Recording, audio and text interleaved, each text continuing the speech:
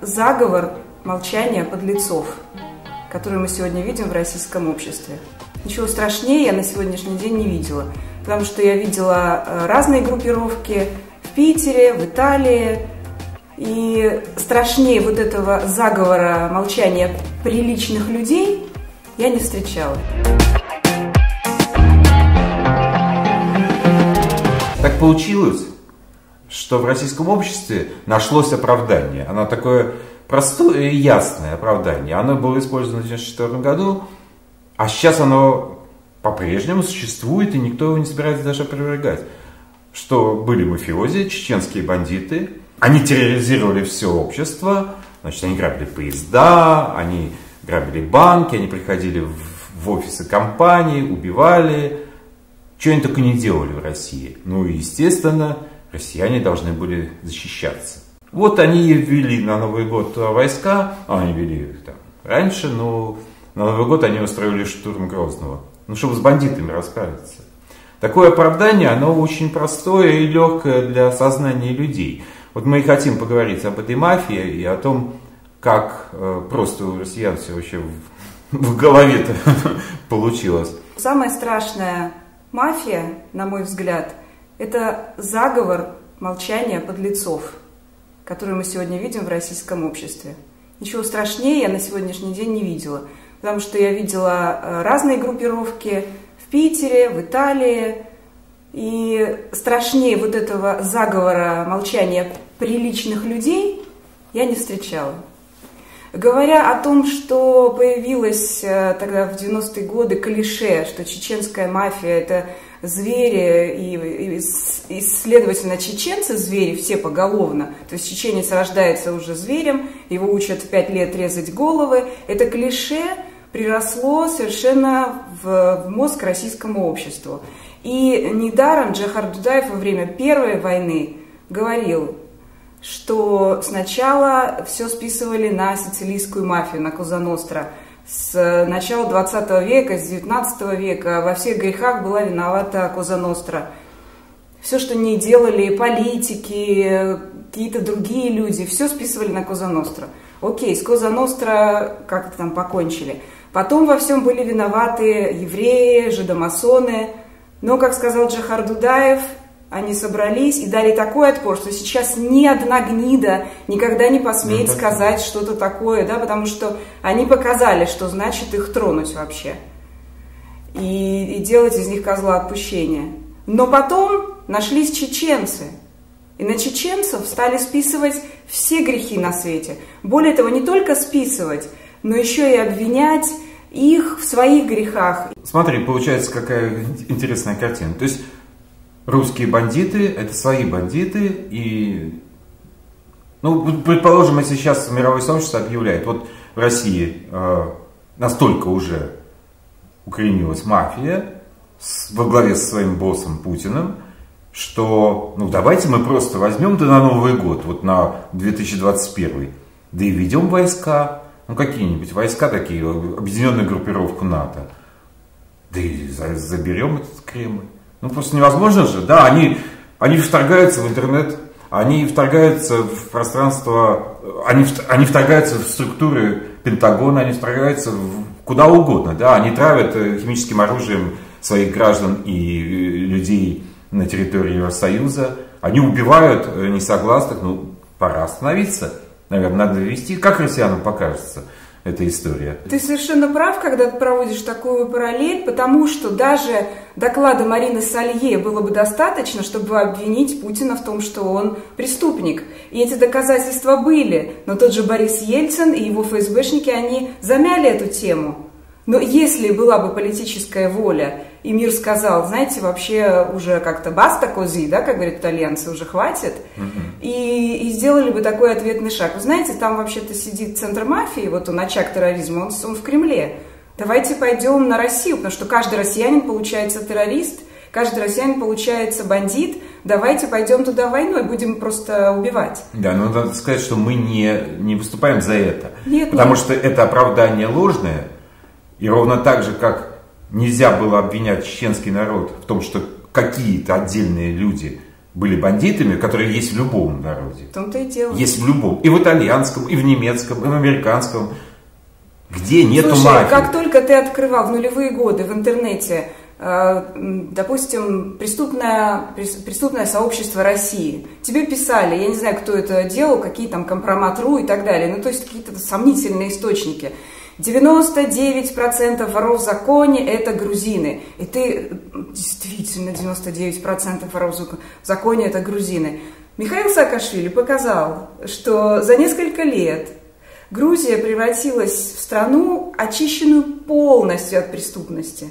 Все эти там несколько воров в законе были вышвырнуты оттуда, и Саакашвили построил систему прозрачнейшую, и до сих пор она работает, заметь, до сих пор она работает. Вернемся к российской мафии, потому что это же очевидная, вот очевидная глупость да, русского человека думать, что мы пойдем войной на соседний народ, Почему независимое государство? Да, мы подчеркиваем опять, что Ичкерия является независимым государством, которое провозгласило свою независимость сразу же после распада Советского Союза.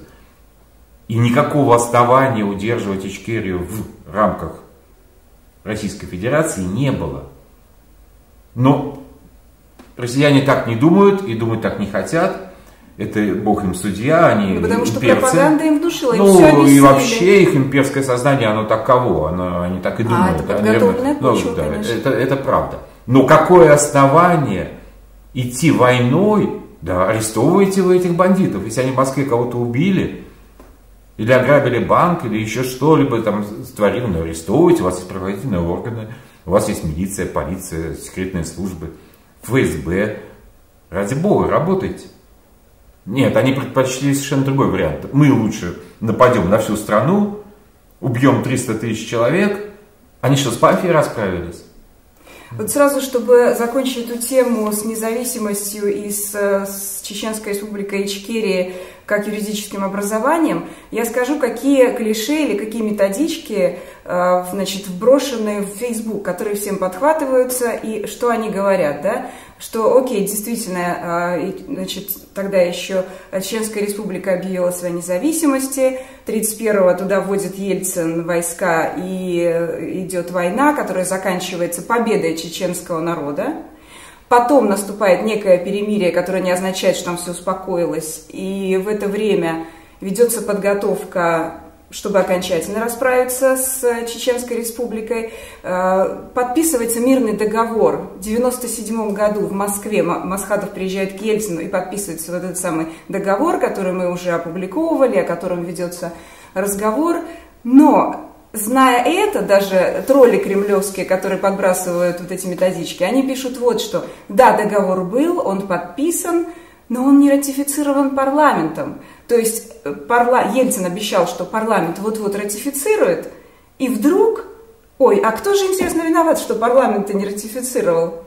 Вдруг происходят взрывы домов в Москве, и начинается Вторая Чеченская война. Вводят войска в Чечню, и все, и до сих пор эта война не прекратилась.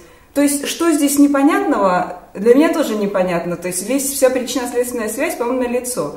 А тем более все события, которые потом произошли и в Грузии, и в Украине, уже должны были показать россиянам, что ну хорошо, тогда вас обманули. Но сейчас-то вы задумаетесь, что происходит, на что вам голова.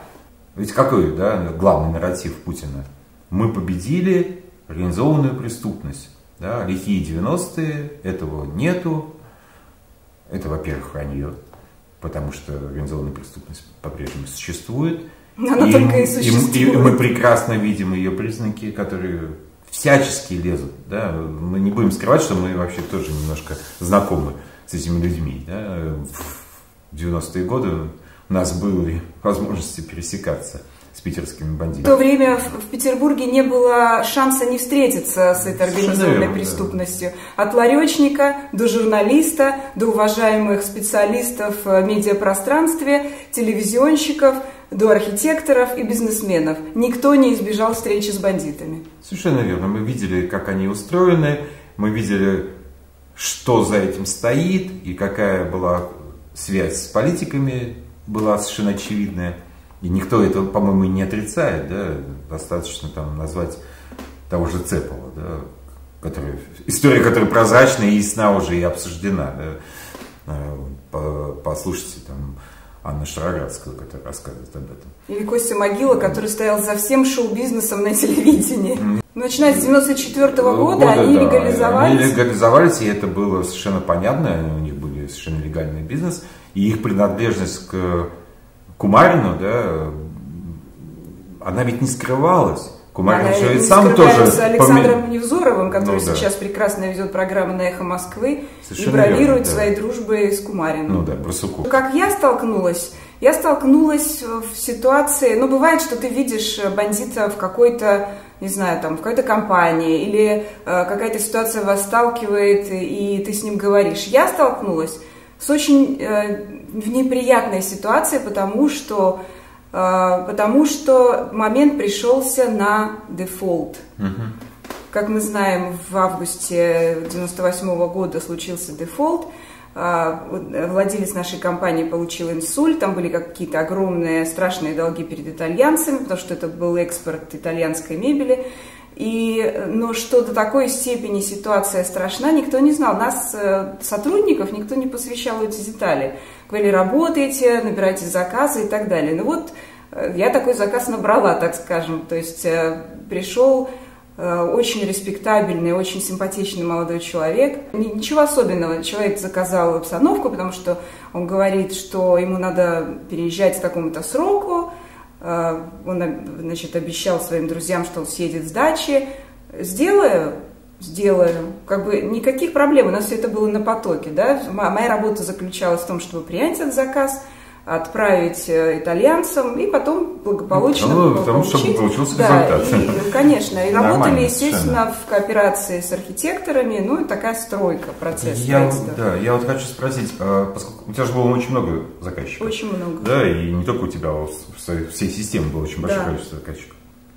Вот у тебя на твоем, на твоей памяти были чеченские заказчики? Нет, были, Я... они все были русские. Не было даже ни одного грузинского, так скажем, бандита, не было ни одного чеченского заказчика. Все были, ну то есть все были вот из этой среды петербургской местные люди. Я, я вот э, в то время с чеченцами не был знаком. Ну, у меня не было круга общения чеченского. У меня тоже было большое количество клиентов, да, я делал проекты. В общем, наша мастерская была вполне преуспевающая. У меня, у меня тоже не было ни одного чеченского бандита или просто чеченца среди клиентов. Я, я не слышал и ни у кого вокруг не слышал этого. У меня был в начале еще, в самом начале перестройки э, друг, э, мы с ним даже работали, он, правда, из Москвы, э, его фамилия была Гакаев, он был чеченец. Это был изумительный, э, я не знаю, просто интеллигентнейший человек, образованный архитектор – с которым мы делали несколько проектов, и у меня стало, ну, просто, я не понимаю, как у россиян это сложилось, потому что в нормальном, вот нормальном сознании, и у меня всегда так было в голове, чеченец это очень образованный, очень как бы воспитанный и даже гипертрофированный, рафинированный человек с какими-то вот такими тонкими понятиями. То, что я слышал от, от, от, от Аслана, это было, ну, буквально вот ну, какие-то такие вещи, которые даже среди питерских архитекторов не обсуждал, он знал так много всего, так интересно. Да, он работал, он работал, кстати, в Моспроекте, в, в официальном институте московском. Он работал в Моспроекте, но когда началась перестройка, все это пошло кооперативное движение, он создал собственную фирму, и вот мы тогда с ним э, как-то пересеклись и стали делать что-то вместе. Он приезжал к нам в Питер, мы приезжали к нему в Москву, Одним словом, вот кроме вот этого опыта у меня никакого другого общения с чеченцами не было. Это да. Но я не слышал. Я, я, я помню, что по телевизору внедрялась идея. Чеченские бандиты, чеченская мафия нас всех достала. На своем, вот, ну, нельзя сказать, что это уже очень узкий круг, потому что у меня были там, люди, которые производили что-то, дерево, камень, куча всяких мастерских. Вся эта кооперативная деятельность так, в начале перестройки, и потом все эти компании, которые уже появились в конце 90-х, ну, все же общались, да, ведь этот бизнес, мир вот этот, ну, да, я, мы там занимались там, э, бизнесом по продаже водки, например, или еще чего-то такого, да, я этого не знаю. Но вот сфера услуг, вот эта архитектурно-дизайнерская сфера, она была вся как на ладони. Я не помню никаких бандитов. Я помню очень много русских бандитов, потому что на них было написано. Причем большинство из них, ведь они не скрывали, что они бандиты. Они приходили и так полунамеками, со шуточками, но всячески давали понять, что они явно из этого преступного э, сообщества. Они были Какие-то были страшные, неотесанные, какие-то были даже вполне отесанные, да, вот как Ян, а, которого убили потом. Кстати, его убили а, прямо вот, это вообще история отдельная, я могу рассказать, это интересно. А, когда я с ним познакомился, он купил себе квартиру на канале Грибоедова и попросил, ну, меня там свел один мой знакомый с ним, попросил сделать. У нас компания в этот момент уже имела много клиентов, и для меня его вот эта работа не была как бы такой, таким заказом, который надо бежать бегом там и выполнять, потому что ну, это ну, квартира. А, но, тем не менее, как бы я согласился, он приехал, мы с ним поговорили, и мы поехали смотреть квартиру. Мы приезжаем в квартиру, а это место буквально там же, где убили Галину относительно Старовойтову. И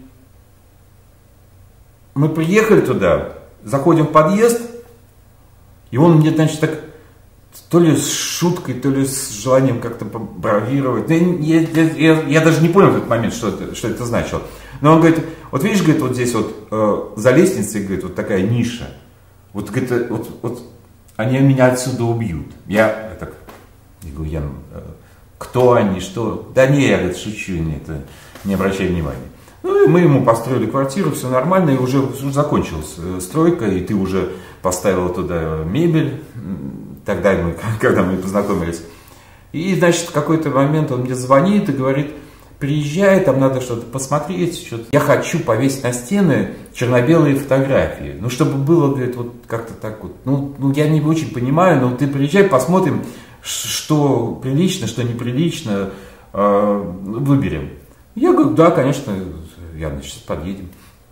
И я еду, я сейчас себя помню, я еду по, э, что это у нас, э, не Крюков, а канал Грибоедова, да, со стороны Невы. Я еду по набережной, и там жуткая, дикая пробка. Я понимаю, что я опаздываю. Естественно, я звоню и хочу сказать, что я опаздываю. И телефон не отвечает, ну нет, ну я думаю, ну окей, ладно, потом как-то объяснимся, да, в чем дело. И тут мне звонит строитель, ну, который строил, и говорит, ты радио слушаешь? Я говорю, нет. Он говорит, там Яна убили. И я понимаю, что вот если бы не эта пробка, а застрелили его с крыши, э, когда он припоедал с предположенного дома, из, из Калашникова, ну, застрелили, он потом все это видели, это показывали по телевизору. То есть он лежал прямо вот у, подъезда вот этого дома, убитый. А, и я понимаю, что вот если бы не эта пробка, то я бы встретился как раз вот в этом месте, и, ну, и не знаю, там, как бы все, судьба распорядилась. Ну, то есть, это, это очевидно, это то, в чем мы жили, мы понимали, да, и потом ведь никто же не скрывал, что произошло. Да, они в новостях, значит, сказали, убили там бизнесмена такого-то. Ну, ну, всем было понятно, да. И потом эти похороны, когда съехались, я не знаю, все, кто только может быть, да, повезли сначала в церковь, гигантская колонна из этих черных машин, вокруг эти мигалки, менты, все это охраняемо. Ну, ну то есть делать вид, что этого не было, ну смешно, да, что это была единая история. И тот же самый Кумарин, которого легко опознать, потому что он без руки, и все его знают, как он выглядит, да, и он там присутствует и говорит речи. Ну, ну чего тут, господи, ну смешно А я скажу, говорить. как он себя вел в этой самой ситуации, как вот с этой самой ситуации ужас-ужас, когда рассказывали, что вот бандиты такие страшные, они убивают, прямо не дай бог тебе. Вот я опишу эту ситуацию, то есть тот самый дефолт, человек делает заказ, делает предоплату и очень просит привезти э, вовремя мебель из Италии. Э, и я ему обещаю это сделать, потому что у нас все работало как часы, пока не случился дефолт. То есть, когда приходит время поставки этого заказа, я узнаю своей службы, где этот заказ, то есть начинается такое вот вранье вокруг. Одна девочка врет из службы поставок вторая, я звоню дальше управляющему, я звоню директору, я звоню владельцу. Все врут, что все вышло, вот-вот идет. Вот грузовик, как у нас умеют. Вот грузовик сломался, вот шину проколол, вот все вышло, завтра ждите, завтра ждите. А, э, то есть, естественно, Ян приезжает и спрашивает, и он причем вел себя очень прилично, очень воспитанный молодой человек. Я ему говорю, как есть, как мне говорят. То есть вот грузовик вышел, завтра вот действительно он уже, а вот там машина колесо проколола. Алло, да, машина проколола. То есть я говорю так, как мне говорят. И меня так выставили на, на фронт вот этого общения, что это уже зашло слишком далеко, и я уже представляла из себя вот этот самый объект раздражения, естественно. Ну, конечно, Потому что каждый божий день, когда этот человек уже понял, что начинается, ну, кинули, ну, начинается уже разводка, и говорит, звони владельцу, владелец не подходит. И вот то, что он произнес так, я понимаю, что это теперь моя проблема. Это говорят ответственные люди, я с тех пор это все запомнила. И когда, то есть, когда какая-то ситуация в жизни вообще, э, ты спрашиваешь, а чья это проблема? Его, его, его. Ты говоришь, теперь это моя проблема. Все. То есть, чтобы со мной как-то поступили, мне было, мне было стыдно, мне было ужасно, мне, когда я поняла, что это кухня вообще, она не оплачена. Понимаете, в чем дело? Это не то, что да, она это, не была оплачена. Это, это, это сколько? Это там 1070 евро, да? Ну, ну сколько-то она там ну, стоила, да. но весь ужас в том, что она не была, не то, что не произведена, она не была оплачена. Когда я это узнала, и мне пришлось эту правду произнести ему в лицо, то есть это, это чудовищно, правда, это чудовищно. Но в такой момент вот ты представляешь себя, и вот тут-то тебя сейчас и убьют, наверное, видимо. Ну, наверное, за но, такое не убивали. Ну, а, а но... страсти, когда рассказывают, что убивают там за то, что ты не так посмотрела, или ты там попался под горячую руку. То есть я э, свидетельствую, что со мной никто ничего не сделал. Нет, и нет, даже конечно, это, пальцем это, не тронул. Это все из, из каких-то кино, из бандитских сериалов. Конечно. Нет, я ну, просто конечно, доставила проблемы, человек понял, что это я не хотела этого делать, да, но но человек попал действительно в серьезную ну ситуацию, ну, потому да, что и... у него были какие-то планы, ну. и его обманули. Потому что обманывать в этом деле вообще самое ну, противное. И забегая вперед, скажем, что никто не пострадал. Никто не пострадал. В этой истории, да, то есть все, все конечно, Яна, все, да, Яна, но пострадал он да. по другим причинам, которые мы не знаем, и, и не будем спекулировать на этом. Конечно. Кстати, у нас были и другие ведь, да, заказчики, которые не были такими приличными как я. Ну, из тех, кого просто вот убили на, на Кипре в 2004 году, э, у меня был такой заказчик Юрий Зорин, например. Mm-hmm. Вот, вот это был страшный человек, который это... входил и сразу устраивал какое-то шоу. Он выглядел так, как вот из, из фильмов, прямо вот такой персонаж, очень кинематографичный, э, с каким-то всегда гал, ну, каким-то платком на шейном, с каким-то тростью с набалдашником такое, и, и, сразу, и сразу начиналось шоу. Или там еще какой-то директор э, какого-то завода, я помню, который входил и сразу устраивал крик и, и какое-то шоу, что сейчас он всех тут посадит, и, и вообще, ну то есть такое периодически случалось, но, как видите, да. все выбрались. Ну, да, я да. тоже могу рассказать, я видел довольно, ну, то есть не довольно, а уж совсем неприятных личностей э, в Питере и и, и не хочу об этом говорить, потому что это уже совсем неприятные люди. А сейчас они респектабельны. А, а сейчас они стали респектабельными, На да. мировом уровне. Да, и поэтому как бы помолчим об этом. А, или, по крайней мере, это будет тема другого разговора. Но я хочу сказать, что мы всю эту долгую рассказ вели к тому, что к 2000 году мы, в общем, как бы понимали, что такое российская преступность. И что такое российская мафия? Может быть опосредованно, может быть со стороны, естественно со стороны, потому что мы были дизайнеры и никакого отношения к ним не имели, но видели, да, это невозможно скрыть такие вещи, мы видели, как это происходило. И мы поехали в Италию абсолютно с полным таким, с розовым таким романтическим ощущением посмотреть как же устроена итальянская Сицилия. Нам так было это интересно. Ну, правда, интересно посмотреть. А ты да? не верил. Я тебе говорю, существует не, не город Корлеоне. А ты да. говоришь, нет, это же это просто кино. Голливуд. Голливуд. И вот со своим пониманием, что такое мафия российская, мы поехали в Италию. Мы приезжаем. Ну, первое, что нас как бы насторожило, это э, после того, как ты приезжаешь в Рим, ты едешь довольно, ну сколько там, 300 километров до Неаполя.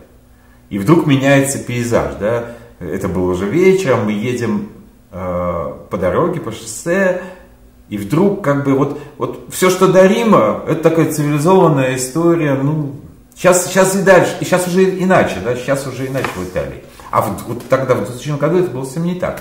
То есть ты подъезжаешь на бензоколонку, и вдруг какие-то куча полицейских машин с сиренами, какие-то карабинеры. Они все время вот туда-сюда, звук сирены вот постоянно тебя преследует. Мы, кстати, поехали через польскую границу, а не, а не, не через север. Ну, не важно. Но мы действительно поехали через польскую границу. Мы приехали из Бреста в Польшу. И когда нас эти белорусские братки остановили, ну там, там стоит гигантская очередь, да, ну, ты понимаешь, что очередь где-то там может сутки стоять, да, ну, тогда такой, такая была история. Потом мы ездили уже через Хельсинки всегда и через Торфяновку, и это было Потому что Евросоюз. Э, да. Шенген, и тогда уже ну, стало да, это возможно. Да. А до этого действительно ездили по каждой визе там, да. И значит, когда мы подъехали к этой очереди, мы поняли, что ну это все, это глухо.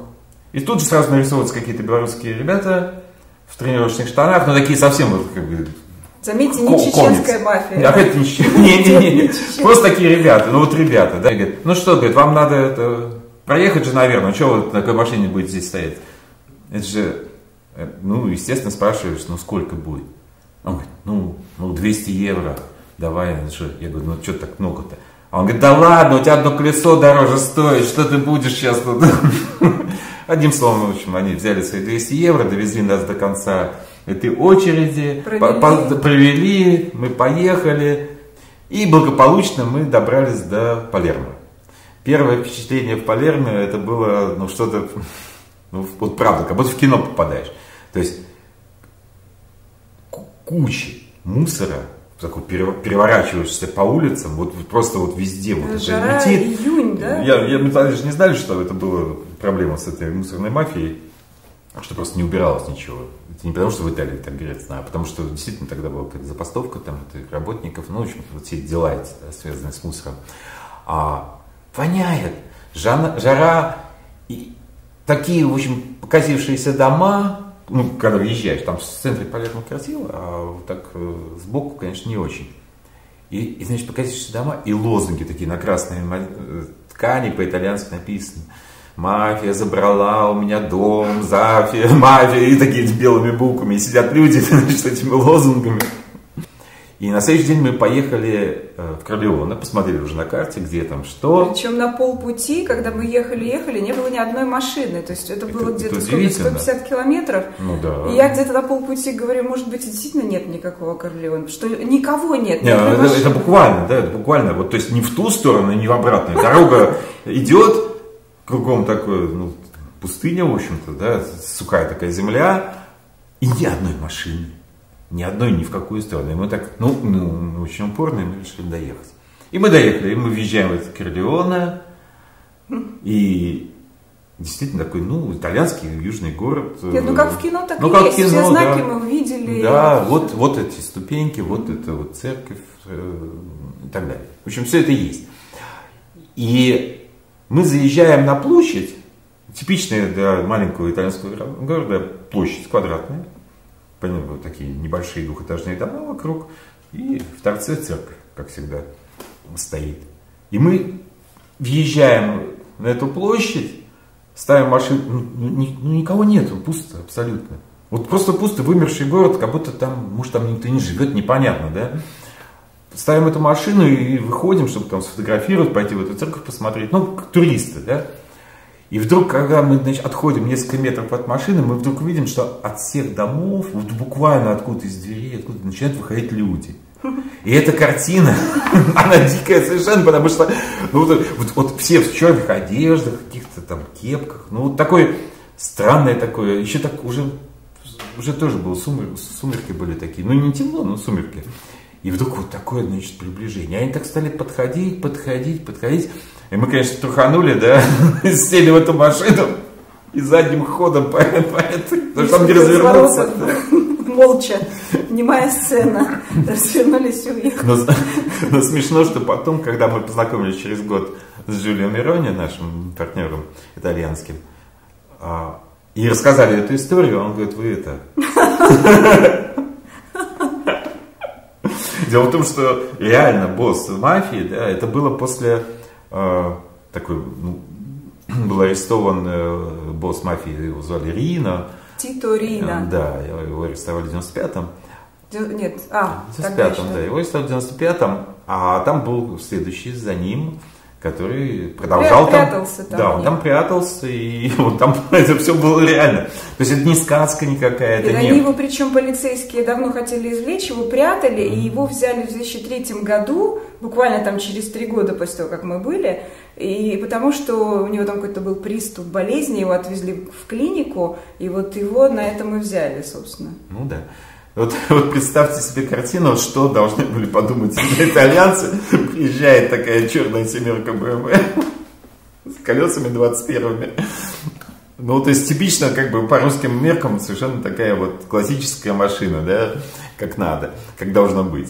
И что они должны были подумать с российскими номерами? Ну, опять, надо сказать, что нами ничего не сделали, нет, никто нет, не... мы благополучно вернулись. Единственное, что нас Миро не попугал, Миро но... сказал, да, что вообще это... могли неправильно вас понять. Да. Вот. К чему мы все ведем, вели этот разговор? Да, к чему? Чтобы вас позабавить, конечно же. Но и еще к тому, что мафия действительно существует везде. Да? Вот от шуток к шуток, но на самом деле мафия существует везде. Да? Мы, кстати, потом а, в 2000 sorry, не помню, в 2016 17 да, в 2017 году мы сделали такое целое путешествие в Италию и на Сицилию, специально уже с камерами, с микрофонами, для того, чтобы поговорить об этом. Да? Нам было просто интересно. И мы спрашивали у людей, у э, хозяев э, каменных. Ну, мы спрашивали самого Корлеоне. Я подходила да. к итальянцам и задавала им вопросы и, про мафию. И, и в Корлеоне, и более того, еще и в этом городе Трапани, Трапани, Трапани да. где знаменитый комиссар Катани боролся где с все сцены, да, да, да, где, да, да. Он, собственно, жил в Трапани, да. если речь о том, как И у нас город. там знакомый человек, который владел каменным производством, и мы у него спрашивали, что значит мафия, да, и он совершенно спокойно, ну, и так. Да, ясно объяснил нам. И люди объясняли. Мы сейчас покажем несколько кадров из этого, снятых тогда в 2017 году оттуда. Ну, просто чтобы представлять, что это все не, не шутки, и все это как бы реальность.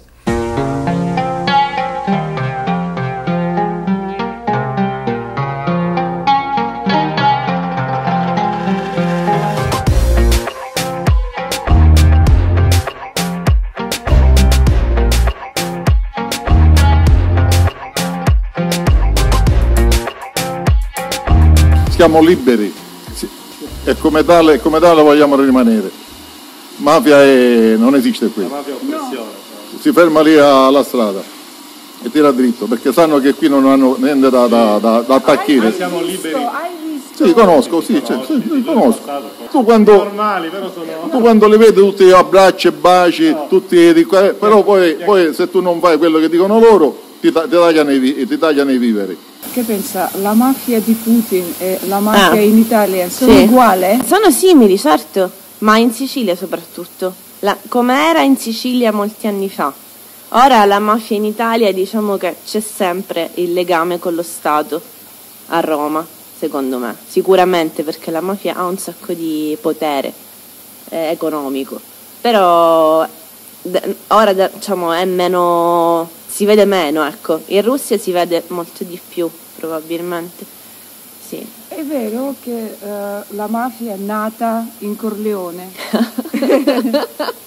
allora, eh, io non lo so esattamente. La, la mafia è nata eh, tantissimi, tipo, credo nel 1200 in Sicilia, quindi non è vero che è nata a Corleone, perché era un modo del popolo di mm, eh, fare valere i loro diritti rispetto ai padroni, sì. agli invasori.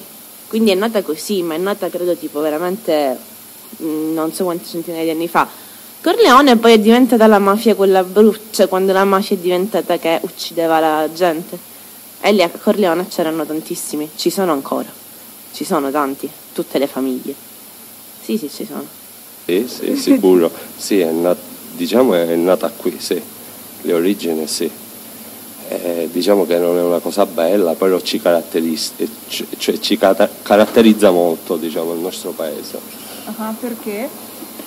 Beh, siamo conosciuti in tutto il mondo per questo motivo, anche se ci sono bravi cittadini qui a Corleone, diciamo che la mafia è una cosa cioè a parte, ci sono i buoni e i cattivi dappertutto.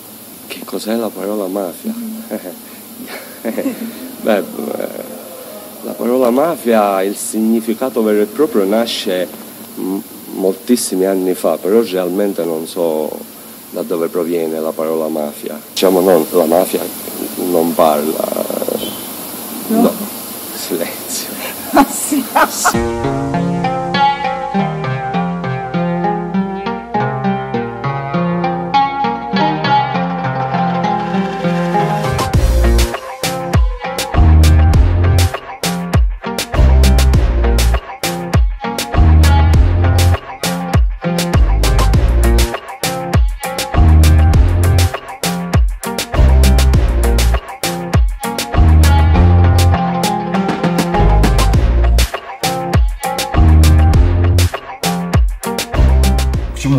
Все это веду и к чему все это говорим, что мафия, она вообще-то на самом деле существует везде.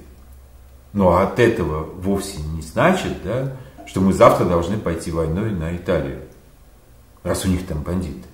И мы не говорим, ты итальянец, да. ты бандит, и твою страну надо уничтожить. Совершенно верно. Почему совершенно знаменитая итальянская мафия, которая описана во всех там книгах, кино. Ну, то есть это абсолютно как бы уже, ну, вот, абсолютно стереотип, да? Мафия итальянская, правильно? Почему это не перекладывается на итальянский народ?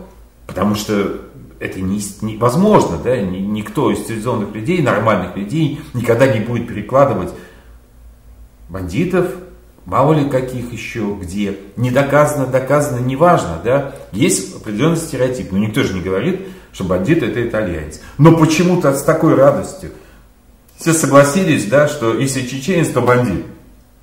С какого вообще перепуга, с какой вообще... А, они, не, не, нет, это не просто так. Это те усилия, которые сделаны целенаправленно для того, чтобы создать этот образ, и он поддерживается до сегодняшнего дня само существование сейчас Кадырова и всей вот этой структуры, она специально сделана для того, чтобы поддерживать, в том числе, да, нет, там много задач да, решается российской властью. Но одна из задач – поддерживать это состояние, что они бандиты. И дальше начинается. В Европе они пугают европейцев чеченцами, в Америке тоже чеченцы, по всему миру чеченцы. Это такой спрут – только не итальянский, а чеченский, да, который готов охватить весь мир и убить всех. Да чеченцев меньше на свете, чем вы боитесь. Нельзя это делать, люди. Это просто это чудовищное преступление. Говорить о чеченском народе, как о народе бандитов. Когда вы это поддерживаете даже в своей голове, Помните, что вы делаете большое-большое преступление. Тема Грузии всегда была для меня болезненная. Тема Украины усугубила эту болезненную тему. Но когда ты об этом думаешь и ищешь причинно-следственную связь, она, если ты честный человек, она тебя выведет на чеченскую тему. Это невозможно. Эту тему не удастся скрыть, потому что это болезнь. Когда в организме есть раковая опухоль, ты не спасешься пластической операцией носа. Это не поможет. Тебя все равно жизнь приведет к тому, что тебе придется иметь дело с раковой опухолью. А раковая опухоль – это отношение русских к чеченцам, к этой войне. Эту тему придется отрефлексировать. Когда я сейчас задаю вопросы умным, образованным людям либеральных взглядов, скажите, что вы думаете о войне в Чечне? Говорят, нет, нет, нет, мы об этом говорить не будем, потому что это маргинальная тема. И ты этим не занимайся, потому что тебя либо убьют, либо ты станешь маргиналом. Ребята, я с большой радостью стану маргиналом по отношению к такому сообществу, которое молчит, преступно и подло молчит.